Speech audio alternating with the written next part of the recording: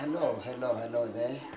It's Mr. Tshabalala here, Triple M member. I'd love to thank Triple M about the dream that I've made. I made a withdrawal of 200 of 2,500 and I'm so glad that I received my 2,500. Triple M is going nowhere, no matter what people can say, no matter what people can do, but Triple M is standing still. Long live Triple M. Thank you, Brother Mavrodi. We'll continue, stand by your side, and enjoy the fruits of the Triple M. Thank you.